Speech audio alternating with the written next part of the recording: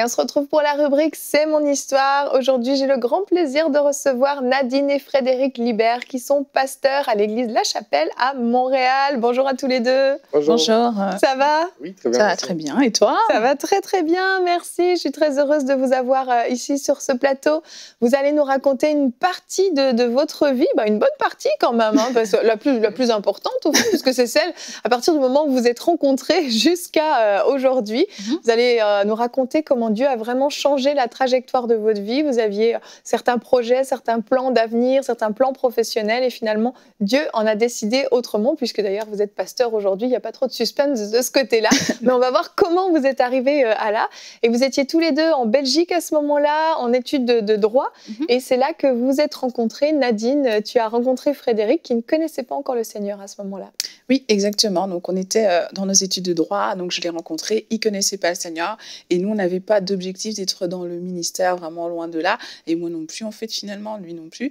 Et donc du coup euh, j'ai commencé à avoir un fardeau que Dieu a placé sur mon cœur un peu plus tard de, de présenter en fait euh, l'évangile à Frédéric. Donc petit à petit en fait le fait de présenter l'évangile a fait son chemin en fait dans le cœur de Frédéric et, et je lui ai laissé un peu raconter cette histoire-là parce que c'est l'histoire la grande histoire. Ça commence par là. C'est la grande histoire de la vie quand même, de la conversion. Comment ça s'est passé, Frédéric? Donc moi, au début, euh, j'avais pas, euh, j'avais rien contre Dieu dans un sens, mais c'est sûr que ma vie n'avait rien à voir avec ce que Dieu voulait pour ma vie. Euh, je faisais vraiment n'importe quoi. Euh, je sortais beaucoup, euh, toutes les nuits, j'étais à gauche à droite, je faisais 36 choses qui ne sont pas euh, vraiment recommandables, dirons-nous. C'est joliment Sans rentrer dans les détails, bien entendu. et Nadine a commencé à me parler de Dieu. Mais ce que j'ai apprécié beaucoup, c'est que ce n'était pas un discours qui condamnait. C'était juste de parler de Dieu, dans l'amour de Dieu, qui il était, m'en dire plus sur Jésus. Parce que si je dois remonter un peu en arrière, quand j'étais petit, euh, j'avais fait un petit coin dans ma chambre euh, que j'avais appelé le coin religieux. Mhm. Et je mettais des icônes. Mon père m'avait acheté euh, des icônes dans des abbayes. en Belgique, j'avais aussi Saint, je sais plus quoi, que j'avais trouvé sur un marché, un petit truc en métal comme ça. J'avais mis là, et pour moi, c'est le coin religieux. Donc c'est comme si, au fond de moi, mon âme cherchait Dieu.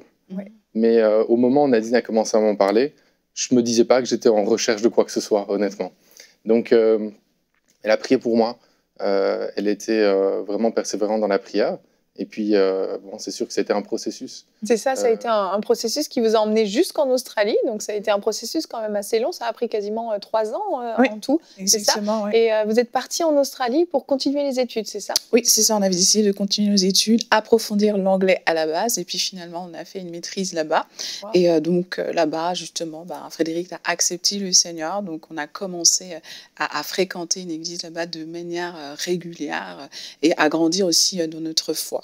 Oui, c'est ça. Parce que toi-même, euh, tu n'étais euh, plus forcément euh, très, très attaché au Seigneur pendant cette période. Donc là, vraiment, vous êtes tous les deux, a comme rallumé un feu, en fait, en toi, le fait de lui parler du Seigneur. Et puis finalement, vous êtes mis, vous êtes impliqué dans, dans, cette église locale, mais toujours avec une vision de travailler dans, dans le domaine juridique, dans les affaires. Vous ne pensiez pas du tout être pasteur un jour, servir Dieu.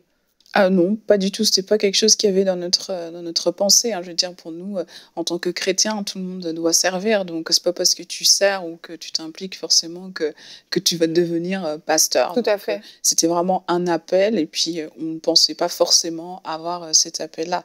Donc, quand on était en Australie, bah, on allait à l'église et puis, et puis, en fait, à la fin, on a terminé quand même cette maîtrise, en fait, simplement des droits. Donc, on est retourné en Belgique et c'est là qu'on a vraiment commencé à s'impliquer beaucoup euh, à, l'église. On s'est mariés. quoi euh, dans... Oui, vous êtes mariés entre temps quand même. Oui, quand même. C'est un petit détail que. Petite parenthèse. C'est ça, dans toute cette histoire, finalement. Vous, serviez euh, dans quel domaine dans cette église? Tout. tout ce qu'on pouvait faire pour aider, en fait. C'est ça. Donc on servait vraiment dans tout en fait. Euh, je sais même pas comment on est arrivé là, mais tout simplement euh, euh, le pasteur il nous demandait certaines choses, que ce soit de la traduction, que ce soit de coller des, timbres, ce genre de choses, et, on le faisait avec beaucoup de joie. Mm-hmm. Et puis je me souviens des fois on faisait des, moments de, des, campagnes d'évangélisation, on allait un peu dans des coins reculés, puis on allait évangéliser, puis on aimait ça, on se sentait vraiment comme les, les premiers chrétiens là. c'est clair. on était vraiment en feu quoi. Ouais, vous étiez super super zélés. Ouais c'est ça. Et à un moment vous vous avez senti que la saison pour la Belgique était terminée C'est quoi C'est une conviction qui est venue dans votre cœur? Euh, oui, c'est ça. C'est vraiment une conviction qui est venue euh, dans notre cœur, mais encore là, c'est pas du tout par rapport au ministère. Hein. On a juste senti, ok, ben c'était la fin.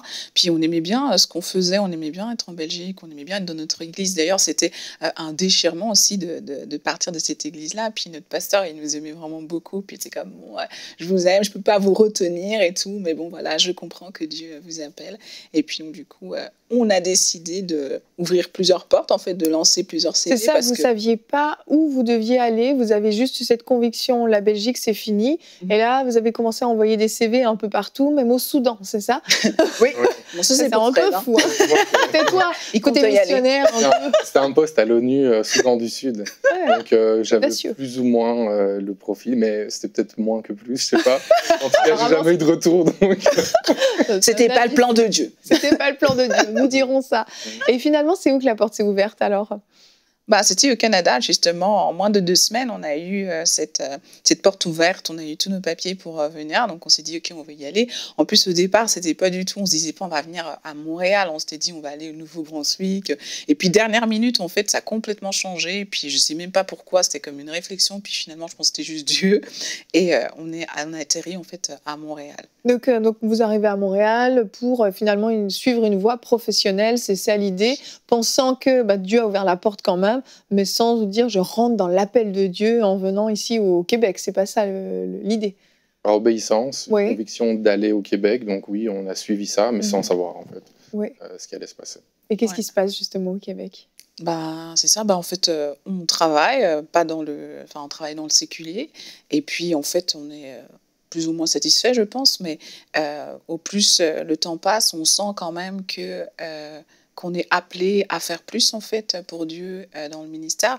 On commence très tôt en fait à servir dans la première église dans laquelle euh, on est arrivé ici à Montréal et euh, on fait en fait comme on faisait de l'autre côté tout simplement. Il y a le pasteur qui est là, puis il nous demande de faire quelque chose, puis et puis on est là, ok on va le faire et donc on se retrouve à être là mais trois, quatre, cinq fois semaine dans cette église à servir et on a énormément de joie à le faire.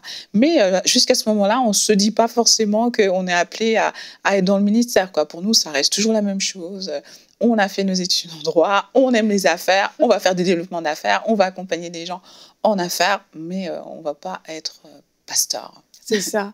Et finalement, euh, l'Église rencontre certaines difficultés, etc. C'est le moment de, votre départ de, cette Église.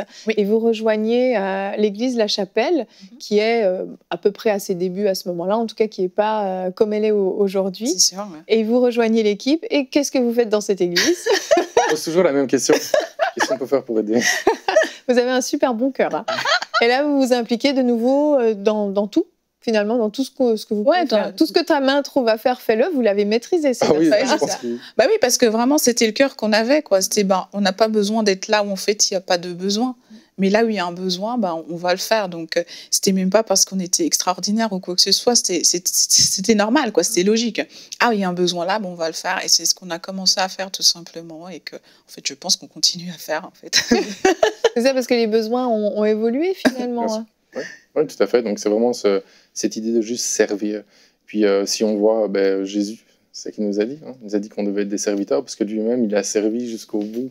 Il était jusqu'à lui-même euh, offrir euh, sa vie pour nous. Mhm. Donc nous, on veut marcher sur cette race et juste se mettre au service de Dieu. Puis on sait qu'on ne peut pas dire oui, on sert Dieu, puis on ne sert pas les hommes. Donc c'est vraiment ce cœur de dire voilà, qu'est-ce qu'on peut faire pour aider? Et puis c'est vrai qu'avec le temps, bon, il y a d'autres choses qui ont pu s'ouvrir comme responsabilité dans l'Église, mais pour nous, ça reste que voilà, on est, là, on sert, et puis c'est ça. ce qu'on peut pour aider. C'est ça, et au, point où euh, finalement vous faites partie de, l'équipe pastorale, euh, vous êtes vraiment à temps plein, donc il a fallu renoncer aussi à cette carrière professionnelle. Ça a été difficile de, lâcher tout ça ou pas? En fait, pour ça, c'était spécial. Euh, ce qui s'est passé, c'était vraiment spécial. un jour, j'ai reçu cette conviction de Dieu. Dieu me parlait, me disait, j'aimerais que tu prennes plus de temps dans ma présence. Et puis, euh, si tu le fais, tu vas voir. Je vais ouvrir des portes. Je vais te faire voir des choses. Tu vas pas en revenir. Mhm. Ça va être extraordinaire. Et c'est ce que tu as fait? Mais si tu le fais pas, c'est ça qui est incroyable dans cette histoire-là. Mhm. Si tu le fais pas, je vais bénir toutes tes entreprises. Mhm. Les projets d'affaires, toutes les choses que tu veux faire, je vais, je vais bénir ça. Et c'est là que j'ai vu la main de Dieu, la grâce de Dieu, l'amour de Dieu. Et j'ai pris la décision, bon, je savais quel était le choix qui plaisait à Dieu, Mhm. c'était de venir dans sa présence, bien sûr. Je dis, ok, je le fais. Le lendemain matin, j'ai eu un coup de fil pour savoir si euh, c'est quelque chose que je considérais de rentrer euh, comme pasteur stagiaire Wow. euh, à la chapelle. Donc Dieu vraiment avait préparé ce chemin.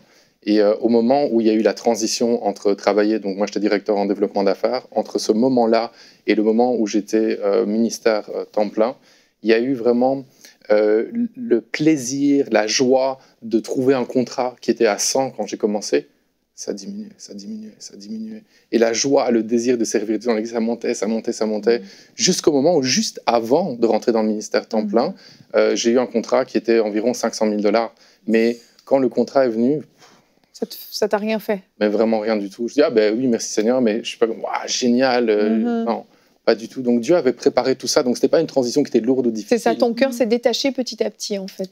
C'était logique, quoi. Mhm. Ah, ok, c'est sûr, c'est le next step, là. Wow. Et pour toi, Nadine, comment ça s'est passé? Non, mais c'était ça, ça devenait vraiment une conviction quoi. pour nous. Ça devenait l'évidence. Je pense que Dieu nous avait vraiment placés dans, une, dans un contexte pour nous faire comprendre que, tu vois, en fait, le- les gens le voyaient en nous. Les gens nous parlaient parfois, ils disaient oui, mais toi, tu vas être pasteur, ou toi, c'est ça. Mais nous, on était comme non, non, non, non. Mais à un moment, je pense que Dieu, ben, c'est juste révélé. On a dû Mhm. euh, accepter ça. Pas qu'on ne voulait pas, mais que pour nous, ça faisait juste pas de sens à ce moment-là, simplement. C'est ça. Mais quand c'était le bon moment, ben, on a dit oui, justement. Ah ouais, ça fait maintenant combien d'années que, que vous êtes impliqué comme ça en tant que pasteur euh, à la chapelle? Ça fait cinq ans. Ça fait cinq ans, donc c'est cinq belles, euh, cinq belles années. Et euh, Frédéric, avant que- qu'on laisse nos amis à la maison qui nous suivent, Oui. tu avais vraiment à cœur de pouvoir encourager ceux qui sont peut-être sur le seuil de la porte, mais qui n'osent pas la, la franchir. Oui, vraiment, parce que c'est pour ça qu'on a décidé de partager notre histoire. Mhm. C'est pas pour dire, ah, regardez, euh, super, notre vie, etc. Non, c'est pour vraiment dire à quelqu'un qui nous écoute aujourd'hui, tu sais que Dieu t'appelle à faire quelque chose, fais-le. Et en fait, il y a toujours cette crainte, ouais, mais si je le fais, qu'est-ce que je vais perdre? Qu'est-ce que- qu'est-ce qui va se passer? Non, mais c'est juste de le faire. Parce qu'en fait, notre sécurité, c'est d'être là où Dieu nous veut. Ouais. Parfois, on est bloqué. On dit, ah, ma sécurité, c'est parce que je suis ici. Ah, là, je suis bien. Non, mais en fait, je vais dire même plus. Tu es en danger quand tu restes quelque part, mais Dieu te veut ailleurs. Mhm. Et même là où tu étais une bénédiction, tu peux devenir une malédiction en restant là où tu es, alors que Dieu te veut ailleurs. Mhm. Donc, je parlais à quelqu'un, dire fais-le.